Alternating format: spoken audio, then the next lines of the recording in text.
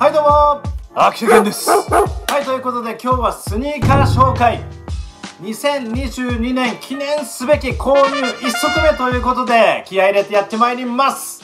えー、先週の土日スニダンの福袋が2日間にわたってありましたがあえなく私は、えー、両日ともに何も買えなかったんですけれども今回紹介する1足だけはなんとか死守することができました。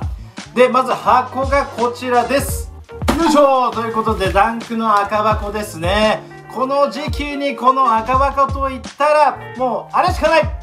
僕が購入したのがこちらです。 Nike Dunk Low Championship Purple ジオライオンでございます。Check it out! Uh, come on!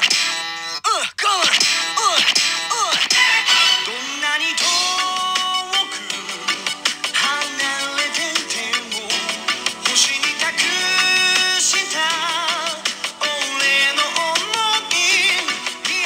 ちゃちゃちゃちゃちゃうんよ。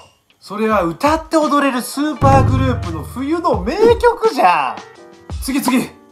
はい、気を取り直して本日紹介するのがこちら。ナイキダンクロチャンピオンシップパープルヘイズでございます。これがフーゴのスタンド。本体がいないのにスタンドだけがなぜか出現している。あいつ殴りやがった。拳から殺人ウイルスが吹き出すぞ。内側から腐るようにして殺される。味方も敵もお構いなしだ。もう大好き大ゴム。パープルヘイズは能力が強すぎるんよ。だから荒木先生も持て余して途中でフーゴ脱退させられるという大人の事情。もうええて。もうええて。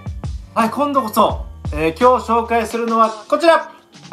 ナイキタンクロチャンピオンシップパープルレインでございます。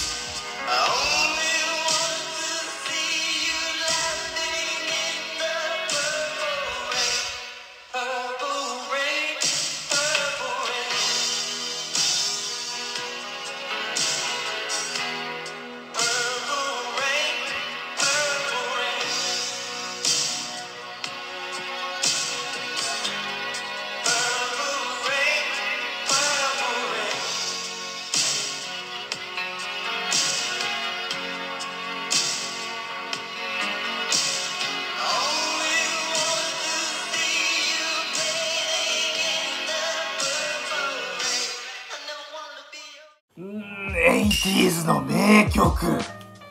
これは知らない方は騙されたと思って聞いてください。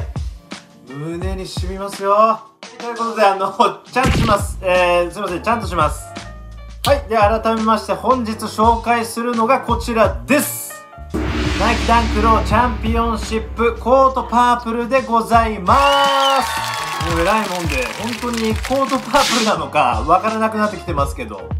相変わらず人気の Dunk Low から、えー、新作のカラーが発売ということで、今回が Court Purple、見ての通り紫がメインのカラーとなっております。同じ色味で言うと、2020年の、えー、12月に発売された Varsity Purple。こちらは women's でハイカットでした。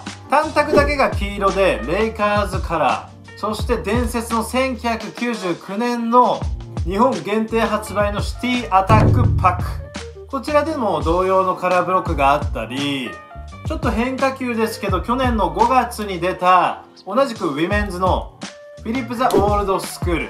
それこそこれは City Attack Pack のコンセプトの、え、裏表を、え、体現している一足で左足がカラーブロックが反転した裏仕様、え、さらにスウォッシュだとかタンタグとか、えその辺も反転させていてそういったものまで出ていましたがついに出ましたパープルの土定番カラーオーソドックスシンプルイズベスト王道のカラーついに2022年ローカットでリリース。はいで今回の配色が紫がメインなんですけれども紫という、え植物の根っこからですね染料を作り出したことから、えこのカラーは紫と呼ばれておりまして材料から、えー、染料を引き出す技術がまだまだ未熟な時代ではこの色を出すのにものすごい金額でしたり、まあ、時間がかかっちゃっていたようで紫は非常に高貴な色として日本だけではなく世界でも認知されていたカラーでしてその時代の名残からか紫は高貴なイメージ位の高い人だけ使用できる色なので70歳を超えた方への敬意から古希の色となっております。なのでぜひですね視聴者の皆さん、まあ、自分のおじいちゃんとかおばあちゃんとかまあ、はたまた場合によってはお母さんお父さんに対して、えー、古希のお祝いとしてですねこのコートパープル、えー、いかがでしょうか？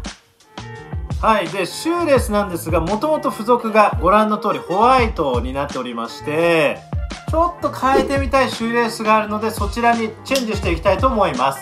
シンプルな分あのシューレースで遊ぶことができると思うんですけど僕が変えたいのがこちら。はいこちらでございます。フォックストロットユニフォームの、えー、同系色の、えー、ヴィンテージシューレースになっております。こちらに変更してまいります。ということで今回も白とあの比較のために片方だけ、えー、シューレース変えてみたんですけれどもいかがでしょうか？めちゃめちゃ良くないですか？どうでしょう？僕の個人の感想になりますけれども白もいいです。あの、白ももちろんかっこいいんですけれども、今の気分としてはこちらですね。フォックストロットユニフォームのカラー。めちゃめちゃ合ってます。このフォックストロットユニフォームのシューレースなんですが、えー、ヴィンテージ独特の経年劣化の色あせ具合、えー、というものを中1に再現した、えー、シューレースになっておりまして、独特のですね加工の色ムラがあるんですけれどもそれが絶妙にマッチしていて一気に様になったなと思います。前から見たらこんな感じ。横ですね。やっぱりこっちですね。めちゃくちゃかっこいい。このカラーはめちゃめちゃおすすめです。はいで次は履いていきたいと思います。どうぞ。はいで履いてみました。やはりこのシンプルな、え、定番のカラーブロックがすごくいいですね。でシューレスもまあホワイトもやっぱりこう客観的に見ていると全然悪くないですよね。でフォックストロットユニフォームのシューレースの方も手元で間近で見るよりも遠目から見た方がより馴染んでいてやっぱりかっこいい。遠目から見るとこんな感じでございます。で、えパンツがこの間ナイキで購入した、黒のスウェット。これがサイズが L ですね。M があのパツパツでちょっと履けなかったので L にしたんですけどまあ XL でも良かったかなという、えー、形ですね。まあでも全然 L でも問題はございません。買ったばっかりですけどだいぶ履いてます。おすすめです。はい、ということでいかがでしたでしょうか？今回はですね、あの、ぜひ、パープルレイ、これだけは覚えていただければと思います。